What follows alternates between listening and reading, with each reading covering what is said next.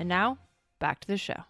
One of the things that I was thinking about when you're talking about like the the ongoing journey is and like connecting to people um, and sharing these stories and experiences is how important that connection is and how this current pandemic has you know in, in some ways made it much more difficult and at the very least shifted our how we connect with people and how we share these stories. So i'm curious how the current pandemic has shifted your work or has it shifted your work? It absolutely has shifted the work. If i don't know if there's anyone out there that can say that it hasn't shifted their work um, but i also think that it's almost it's, it's also I think it was kind of, I don't want to say the pandemic was necessary, but the moment to take a step back and reflect has been really, really good.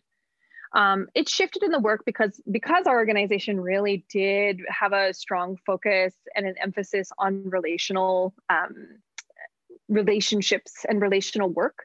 So we we you know a big thing is we had a huge gathering on the land every summer and we tried to like have like strategy sessions and conversations with folks and we were trying we were like last year we were supposed to be launching like seven community engagement sessions across the country and doing all this stuff with youth and like doing all this training. And obviously that it's the kind of stuff that you can't even do online because you can't you can't have these types of trainings or conversations through zoom. And so that's really forced us to like think about like okay so what can we do now?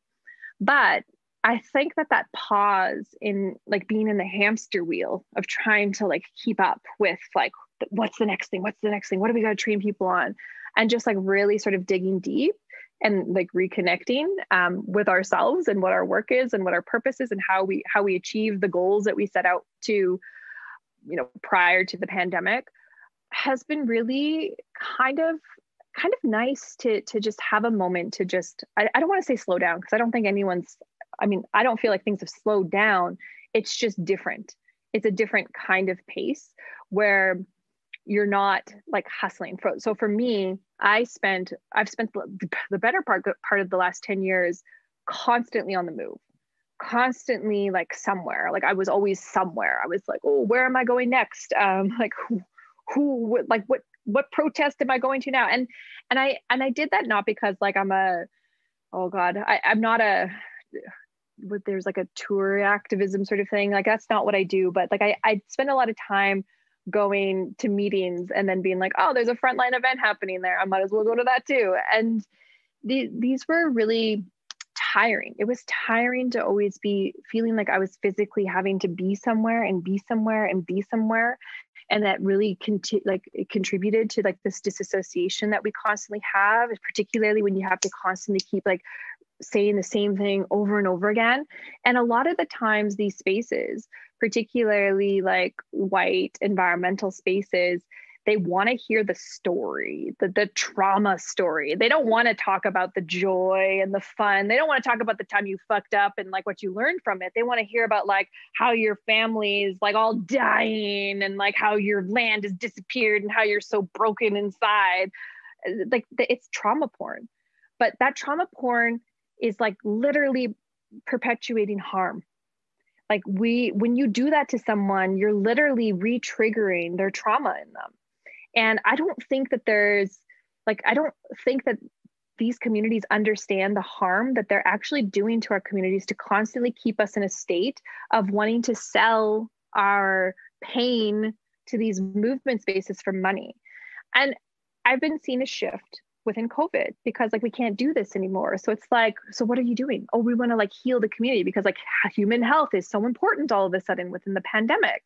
And now we're seeing this shift to these people being like, oh, we want to like support like healing justice. We want to support like communities like care packages and aid this is the stuff we should have freaking been doing because our communities can't topple systems if they're sick and constantly having to move and constantly being like triggered and put into their trauma all the time and so the the pandemic has like been kind of kind of good in the sense that it's forced us society at large to reevaluate not just what's important but like how we actually achieve the ends to our goals and one of the biggest things is that human health individually and communi- communally is super critical.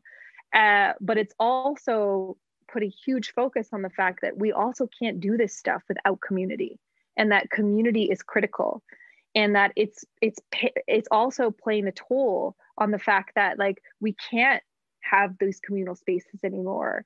And that is it's it's really it's on some for some people it's been really really hard for their for their mental health and their spiritual well-being to not be able to go to ceremonies to not be able to like go to those feasts or to that conference and like sit and have the face-to-face conversation with folks. And like those relational exchanges are really critical to fostering creativity to fostering solutions to problems and we're not in that space. So i think we're like almost like in this like hibernation where we need to to try to make the best of this situation and to reflect on ways that we can rebalance ourselves and how we reemerge from this moment from this hibernation from the world in a way that's going to be even more powerful. And I really hope that it is not just getting back into that same cycle of like trauma, travel, trauma, travel, trauma, travel. Uh, it's like, yes, we need to fight. Yes, we need to show up on the front lines. Yes, we need to stop those machines that are coming and going to destroy the land or, you know, stop that bill that's going to be super oppressive. But we also need to focus on the fact that, like, we've learned a lot that human health is critical and human health isn't just about you know taking medicine and taking a bath. It's also about those relational exchanges and about those spaces that foster creativity. And i hope to hell that we see more investment in communal exchanges and places that foster these creativity and foster healing rather than exchanges that are propping up stories of trauma. Yeah that's a really lovely connection. Um, I'm with you on hoping that the that focus on healing in a deeper deeper way continues to grow and and blossom and live beyond um, COVID.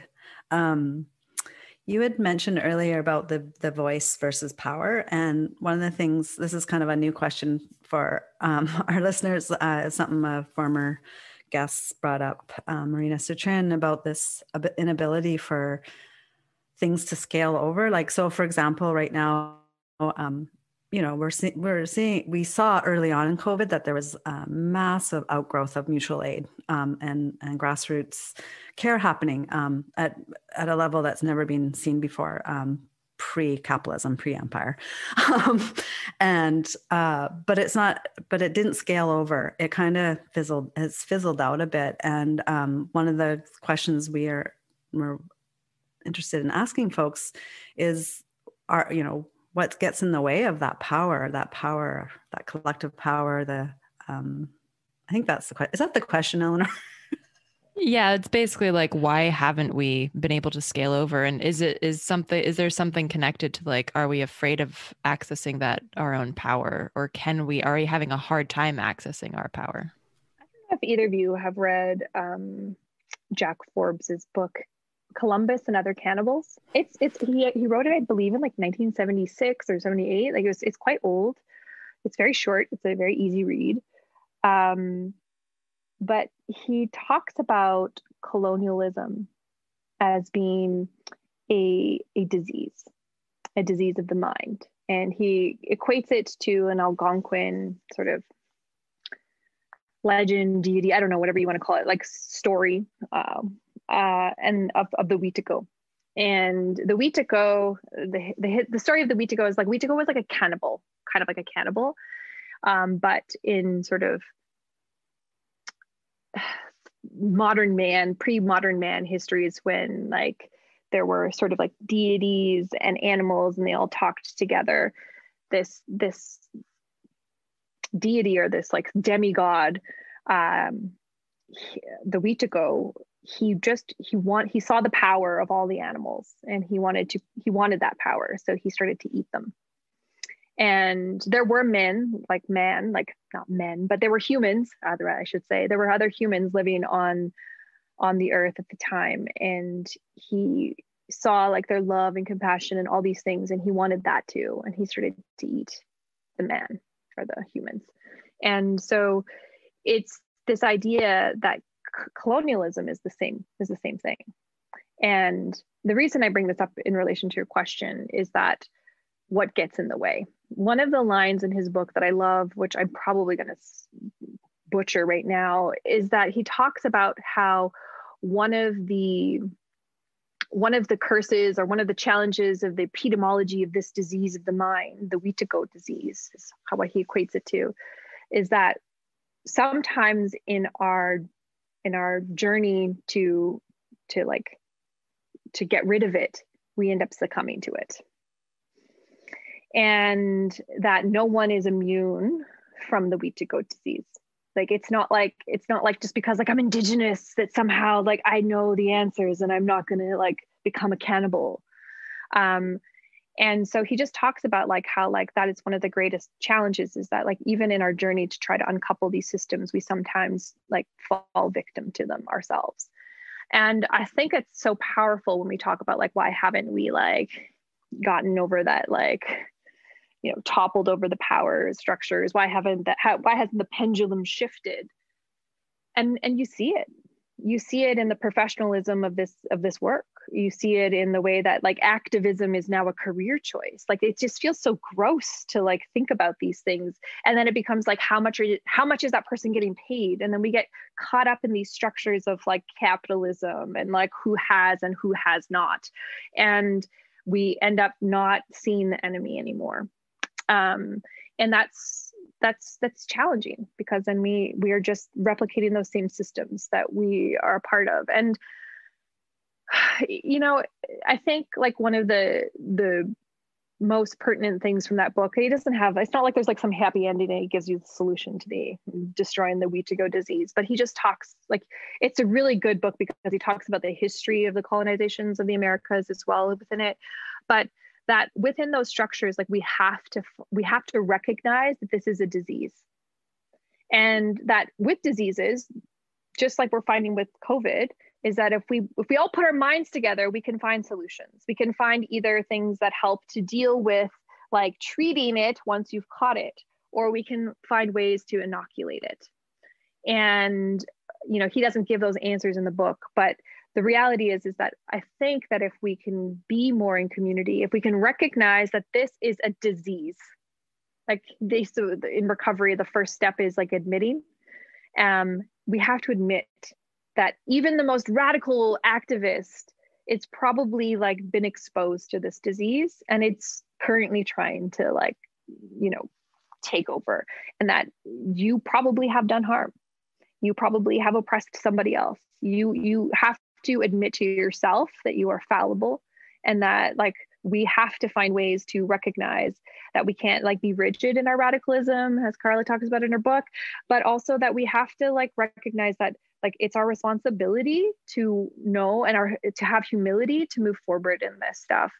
And and i, I do think that that ego um and and being c- caught up and and pulled into empire or being taken over by the Wetiko disease is is part of that is why we haven't gotten to those spaces. It's why people get voices and then they start to look for power but they're looking for power within the confines of those same structures. So how do we create power outside of those structures? How do we look to create alternatives that aren't replicating those structures and systems? Personally for me i just like we have to listen to the land and that comes from a teaching for me growing up.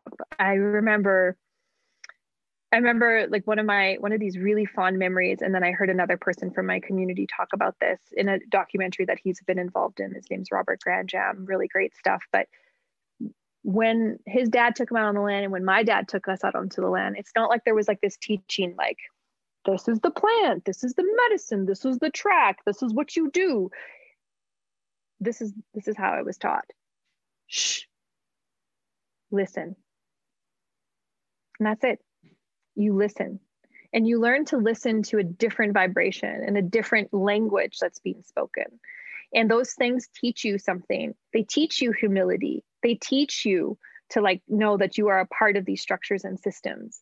And when you see that you are like nothing but a mere creature on this planet connected to all these things, your perspective of life completely and utterly changes and it's not just about like this like super wooey like hippie like i'm gonna go meditate and like go like grow a garden. Suddenly i'm gonna be like fucking buddha and talk to the divine. It's like again there's ego playing in that. So like how do we learn to just like someone just shushes you and tells you to listen and you're like listen to what? It's like there are there's so much more that we don't understand that we don't hear. And i think that is the stuff that we need to tap into in order to really start to topple those structures and systems because we need to stop listening to them. We need to stop reacting to them. And we need to start listening and reacting to the things that have been trying to speak to us for the last 500 plus years since colonization has come over to try to mute those voices that spoke to us for generations before. I I'm glad yeah. that I have like my my microphone on mute because there have been so many times during this that I've wanted to scream fuck yeah really loud and I'm so I'm glad that I'm on mute. Um I like and and one of the things that uh I think that's really powerful is kind of the this idea of not like going back but it's kind of like a rebirth like the like a, a, a renaissance if we want to use a uh, that word but going back to to understanding previous relationships to the world and and and and our place in the ecosystem as opposed to like trying to see ourselves as on top of it and then like taking that into the present um, and building a future from that. And so with that like i'm curious with all of the shit that's going on now and all of the shit that has gone down do you feel hopeful for the future? Do you feel hope? And what kind of hope is it? And uh, do you feel like these kind of shifts happening? I mean, shifts are undeniable right now. Um, I, I do feel like the shifts. I mean, there's a there's a fundamental shift on a political level. There's a fundamental shift on like a environmental level. I mean, like, it's it's been like crazy warm this winter. Like, there is a shift, like an undeniable, unequivocal shift happening on multiple different like levels and planes. And it's scary. It it and i think what's the scariest part about it is like it is so unknown. It is so incredibly unknown what that what that future looks like. Like what does that future look like? And you know we have like the eco fascists that are just like humans just need to like fucking die. Um and we're the we're the blight on the planet. And you know it can feel really easy to say that. But the reality is is that we are just as any other creature on this planet we are a creature on this planet. Um, and and we we have purpose. And i don't know if we've even figured out what that purpose is as a species. Um, i think we've fucked up a bunch of times in trying to figure that out um, and and you know and not to say like i'm not like I'm also not saying like, oh, like we just need to go back to indigenous ways of knowing, because like let's let's be real, like there are like indigenous civilizations that grew and fell before colonization, and so we have fallen and failed many a times before. But um, I am I don't know if hopeful is the right word. People always ask me this question, and I'm like, I'm always like, yeah, I'm hopeful for like a new future. I'm expecting a new future. I think that's more that it is, and I don't know what it is. I don't know. Like, I think every transition and every rebirth, any birth, rebirth, birth, birth in general is a painful process. I, I always talk about this when people are just like so upset because we're like, you know, trying to have an intersectional meeting and suddenly someone triggers another person and everyone's all like, ah, they're all crying and mad at each other and hate each other. And like, I'm never going to do this again. And everyone's just like pissed, right? Seen this so many times. And I'm like, what do you expect this to be? Some like we're all going to hold hands and it's all going to be peaceful. That's not how like change happens. That's not how birthing a new movement happens. It's painful and it's messy. And like you're like why the hell am i doing this? Like during childbirth you're like oh my god i can't. I can't even move through this moment anymore. I'm going to die. Like you're just like you know you have a few people that are just like oh it was ecstatic. It was beautiful. And it, it can be uh, it can be it could be but generally it's not. Like all animals birth it, it's not a like super it's not like you're on like white sheets and all happy together. It's messy and it's painful and sometimes emergencies happen and you got to like intervene and you gotta someone's gotta come in and like fix the situation. But in the end like if you've given birth after that process and like that that life is passed to you and given to you it is the most beautiful thing in the whole world. It is like it is indescribable the kinds of love and emotions that you feel. And it is something that you would do anything for. And we are talking about transitioning and changing the whole world. And if it's not messy and if it's not painful then we're not fucking doing it right and it's whether or not like you're willing to push through that pain. It's willing like you, and, you know breathing properly having the tools to get through it having your support people with you and moving through it and birthing something is going to be hard. But in the end whatever it is is going to be just as worth fighting for as all the things that we've done before. And it's going to be beautiful. And whatever that is i don't know what it is. I i have no clue and i shouldn't know and and to claim that you do know is is like you gotta let go of some of your ego man Yes.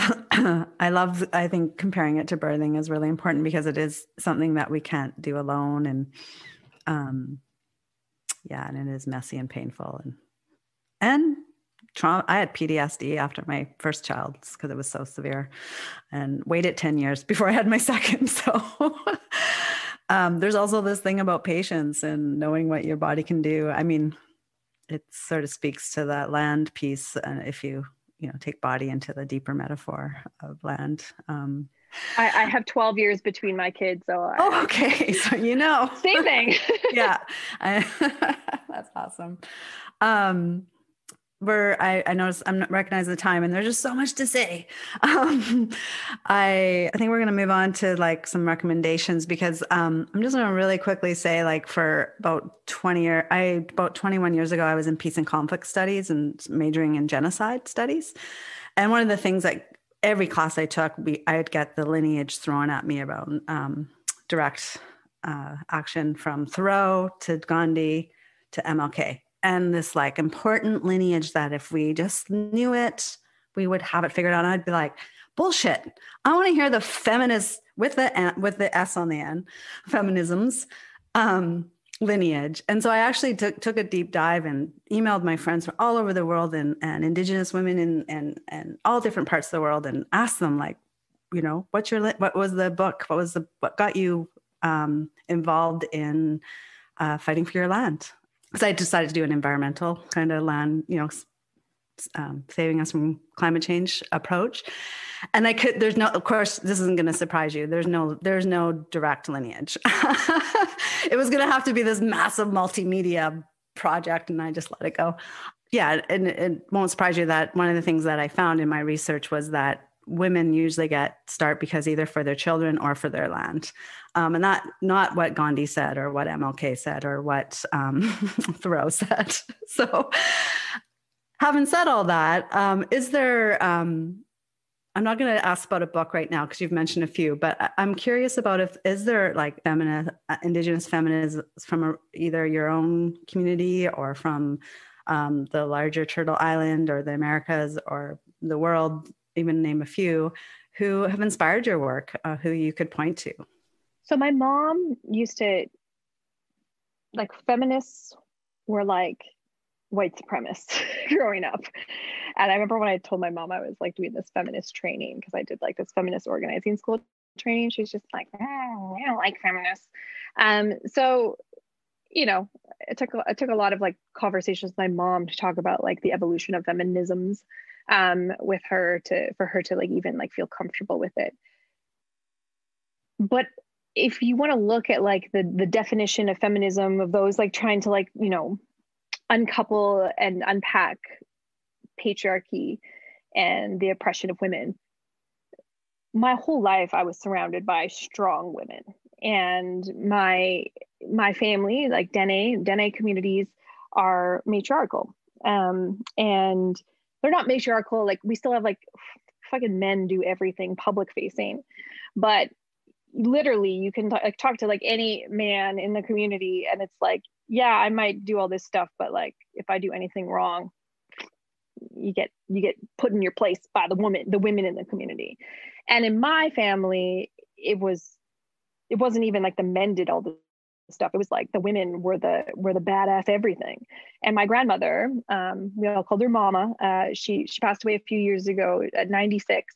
Um, she was the matriarch. She was the ultimate matriarch of the family.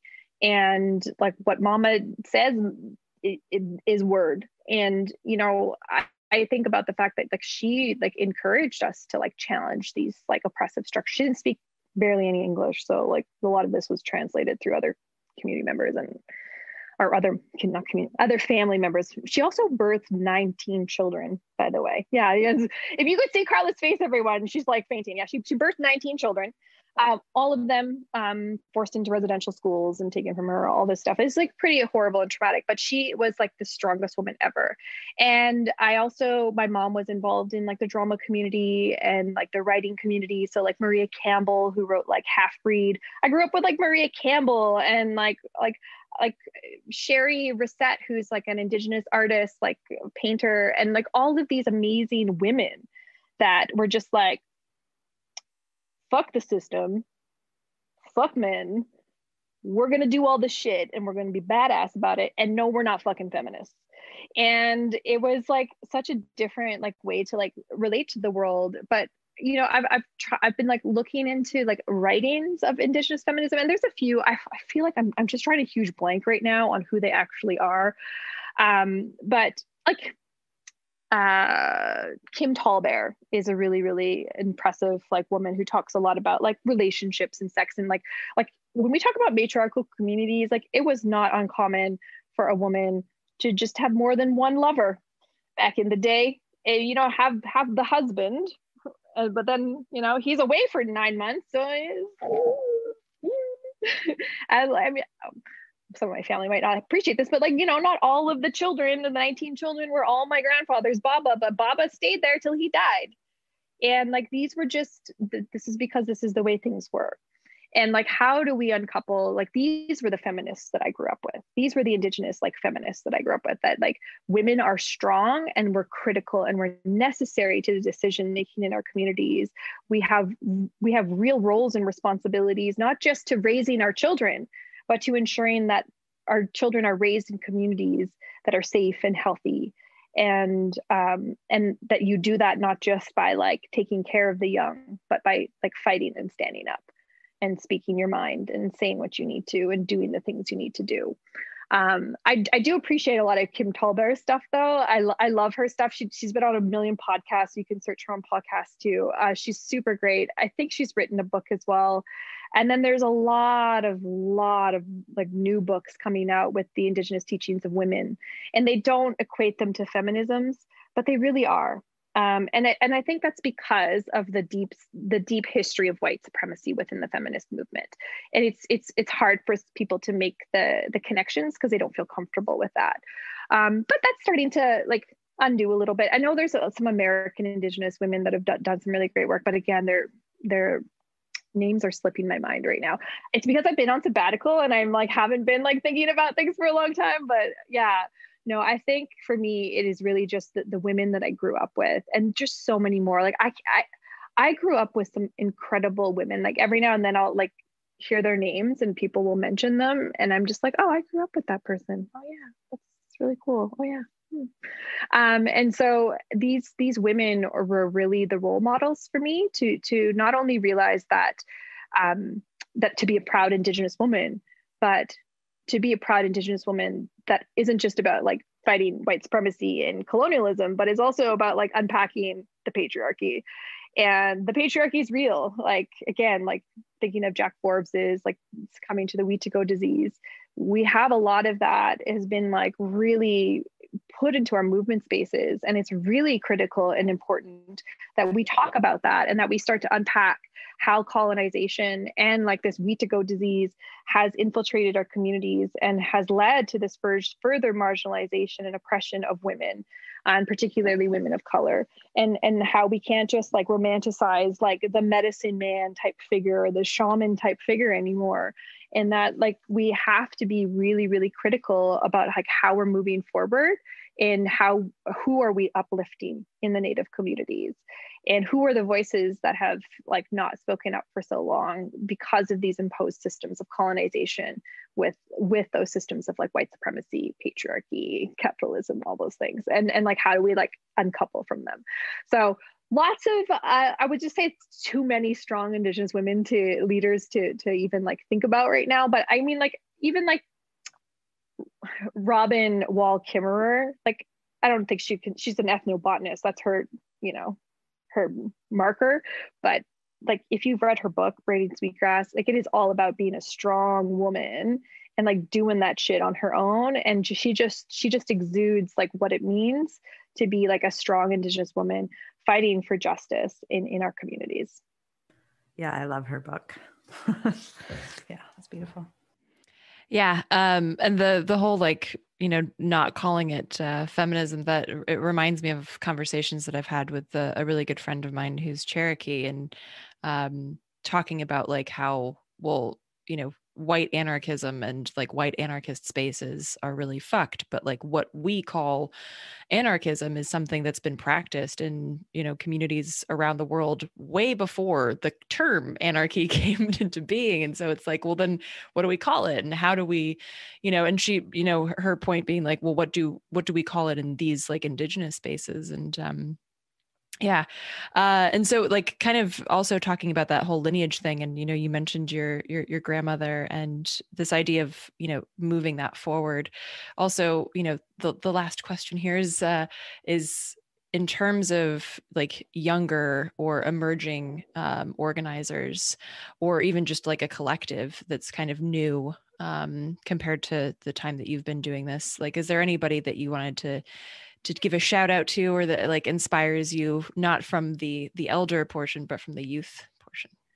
I feel like there's so many amazing youth. Also like this whole like anarchist feminism it's like gets back to that first thing at the beginning where i was like we always want to put like this box like what is the person can tell you whoever discovered water wasn't a fish. Like it's like what? That's anarchism? I last little story on that rant is like i was someone I, I learned I, I love science even though I'm making an indigenous like knowledge, like I, I love like science because I love seeing when science figures out what indigenous people have like known for like millennia. Um, but there was there's been this new like fringe science called biophilia.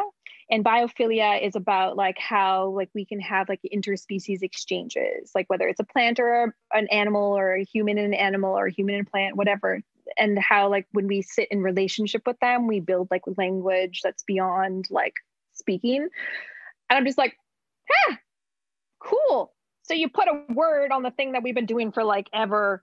Awesome.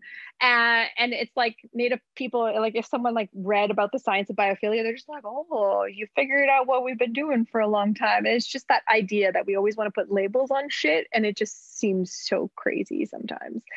Um, but shout out to Indigenous youth that are like changing the world and doing shit. Oh my God, there's so many.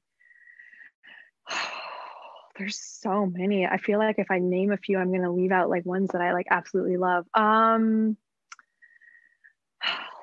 like literally there's so many. Uh like Quinn Misa which I can't really say his name wrong. Remember, I said I'm terrible with names and pronunciation. He's um he's Algonquin Ojibwe from out east in Ontario. He's been doing a lot of work with the Isaac Murdoch camps, uh, land-based camps out there. But he's a language keeper, like so he knows the language fluently, and he's just like on the land doing amazing work. And he's just so humble and so sweet. And I think like anyone like I've learned so much from being in his presence. Uh, he's great. I, I think like Ta'Kaiya Blaney, um, she's uh, Shimsham, Simsham from like West Coast. I have known her since she's like the same age as my son, which is just wild to think about. And like she's been on the front lines. I've seen her just grow up. And when she speaks, it is the most powerful, like amazing from the heart, like from like it's not even from the heart, like from the heart just feels so like individual it's from like the ancestors. Like when she speaks it's it's it's ethereal. It's big beyond our comprehension. Um a lot of the my staff on my team, like Kyla, Pascal, and Lindsay Bakagel, and like Nigel, Henry Robinson, uh, Pisu Crane. Like there's all these indigenous youth that I know that I every time like I hear them speak, like sometimes they say things I'm just like, oh, you need to listen to your elders a little bit more. But other times I'm just like, oh yeah, that's it's really that gives me something to think about. And someone once said to me, if you know someone doing this work and they don't have a youth mentor, like someone who's like middle aged or older, and they don't have a youth mentor, then you shouldn't listen to them. And it's really important that we don't just look to our elders and those that have like been through it for the answers, because and as someone who was deep in youth work for so long, like I spent 10 years of my life like advocating for Indigenous youth voices, like it is super critical because they have experiences that are critical to understanding like the future. Because they are the future and they have experiences that I don't understand. Like I don't understand half of social media half the time. And anytime it's like, what's gonna work? I'm like, I don't know. What's TikTok? How do I do it? Yeah. Um, and these youth not only know how to engage in technology because they're not going to limit it to technology, but they know how to speak to other youth they know how to like engage them and bring them into a conversation in a way that I couldn't do. And when they do that and they bring that skill and they learn from the elders and they bring the knowledge into this, they are the ones that are mapping out what our futures look like. And so there, there's just so many youth that are stepping up and sometimes they want to do stuff like that is just like crazy and i'm just like okay but adrienne maree brown uh, talked about I she did this workshop with her once, and she talked about how like we have to let our youth make mistakes.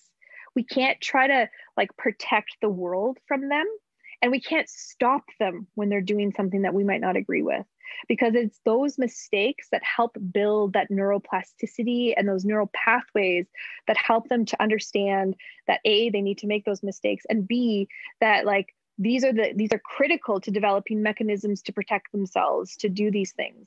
And so i've gotten into arguments with people that are like you need to make sure those youth don't do these things. And i'm just like or we need to let the youth do those things and like almost take it from like a harm reduction um like approach like you don't take away all the tools because they're doing something wrong with them you just go okay i'm here for you if something happens and I want to support you in this journey. And you can convey your concerns, but you should never try to stop them from doing something. And I think that the, these youth that I talk about are super powerful and super radical because they're doing this work and they're doing it with such grace and with such, um, you know, passion. And they've all made mistakes, all of them. And they've all gotten back up and they and they all take the time to listen and uh, last two years ago, at our last gathering, I, I'm proud to announce that I'm no longer um, like being in your 40s is such a weird age because it's like you're not an elder and you're not a youth. So what are you? So I'm I'm an auntie, uh, and and I, I I found myself scolding a bunch of youth two years ago, and I got uh, nicknamed Mean Auntie, and that's okay. You know, like you could scold youth and they need to make those mistakes but they also need to hear like some direction coming forward. Uh, it's not about just letting people run rampant and run wild. It's about like being there and just being like this is not good for you. Don't do it. And if you're going to continue to do it you're going to you know hear more um, but also us as old people also need to know we don't know all the answers particularly young people have a lot of solutions that we will never have even dreamed of thinking of because we've never had those experiences Oh my God. Did you see how excited I was? Jumping up and down. Um, at the Purple Thistle, which was a youth run arts and activism center, the only sign we had up on the door was mistakes are encouraged, oppression will be challenged, oppressions will be challenged. Um, because it's it's just everything right there, right? How else can you learn without uh, falling down a few times? Um, thank you. That was just so wonderful. And the I'm just that was my favorite thing ever. it's, yes, funny because like could cheerlead. it's really funny because one of the things I got mad at the youth is they they kept not showing up to the sessions in the morning, and I just like scolded them in front of everybody. I didn't even pull them aside, And then they were like, Well, you should help us wake up. And I was like, No, I helped you all get here. I made sure you all had food in your bellies and a safe place to sleep. It is your responsibility to step up and make sure you show up and you show some respect to the people that are like doing this work with you. Totally. And like, we need to hear your voices, but that means you need to actually show up and like yeah. be respectful for the people around you. And I think like that's critical. It's like, it, like some people you say stuff like, oh, we need to listen to our youth. It's not about like just like mm-hmm. that harm reduction model is like they got to make mistakes and we got to be there to help them to, to, correct course. Totally. Yeah. And that responsibility is key. It's key. It, what's it's what comes along with um, centering relationships and um, encouraging youth to have you know to be in their power is that then they have to show up with with responsibility. I think the other thing too, when we when you think about youth, it's like some like there's youth as in youth and age, but there's also like those that are new to these spaces, and we have to come at them with the same type of compassion and like the, that ability to like that room to make mistakes. But those people also have to come in with humility to know that like it's okay to make mistakes. And I think like, and also just because you hit a certain age doesn't mean that you're auntie or that you're an elder. Like these are earned titles and I, I, I really want to like emphasize that because I see too many times people referring to people as like elders in communities just because they're old. And like that title comes with responsibilities and experiences of being respectful and being able to learn from younger generations, having those abilities to like have like humility and like let go of ego and all of those things. And it's really, really important that we just don't respect someone because they've been in the movement for 35 years. Uh, I'm an advocate of like question everything, learn as much as you can, and have humility while you do it along the way. And that that includes people. That's a beautiful way to end. Unless you have, do you have anything else you'd like to say or? Um, um, I'm just noticing the time we've taken up so much yeah. of your time and labor. And I, I think the last piece is just like I think some people I just want to name this because like I don't know you don't you can include it or not I don't know but some people when they see like indigenous rights movements and they hear land back they get really confused and and I just want to speak to that a little bit because and I and speak to like we hear a lot of like catchphrase catchphrases like decolonization and all this stuff and I think land back and decolonization are like two in the same thing because decolonization if you like break it down it's like a return of and to the land. And land back is about that. And when I say return of and to the land, it's like, it's not like I'm going to own this now. It's a return to and of the land to the people that were in like these deep relationships with it. And land back is about allowing us in this capitalist property like ownership system like we have to have that semblance of, of ownership because it's the only way to have the ability to effectively reestablish those connections with land undisturbed because that's the society we live in and land back is like us being able to freely access our lands to be able to return to and be of the land once again and that is a part of decolonization. It's uncoupling ourselves from these structures that have prevented that for generations. And I think that the youth have done such a beautiful job in really pushing this land back movement in a beautiful way in which we've seen little pockets of like people actually like giving land back and I think we need more of that. And we've seen this in the Black community in the United States with the farmer, Black farmers liberation movements, and where like, you know, Black black folks are getting like land to garden and to slay and it's like a healing process because they were like forced to farm and we need these things. We need these practices and we need to have like reparations. And land back is a form of reparations. And we don't want to talk about reparations in canada because we slavery is easy. It's like there was monetary exchanges.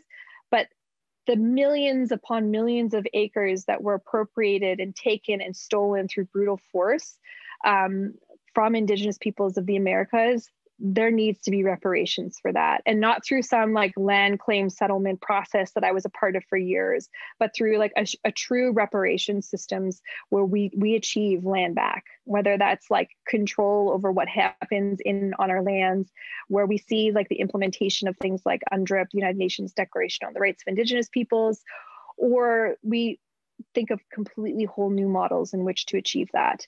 But the reality is is that decolonization starts simply from uncoupling ourselves from these structures and reestablishing those those relationships with the land again. Definitely leaving that in because i think i think especially yeah. here in the uh in the us like there have been a lot of conversations where people are like well well well where will i go then? And it's like that's not what what do you think we all said when you all came here? Like, where will we go then? Um, yeah.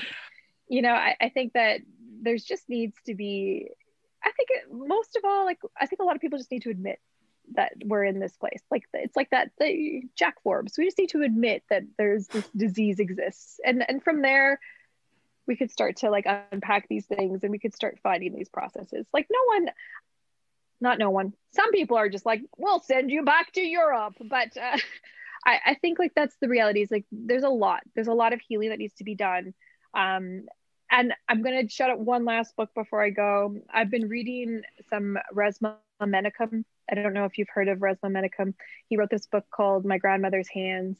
Mm-hmm. And for those that are looking for a journey into like working like through building bridges between like BIPOC folks and starting to build deep allyship, he talks about like that healing with our bodies and our minds. And he's like a somatic um, teacher and a psychologist but there's so much trauma like within like the european history and those that have inflicted colonization across the globe.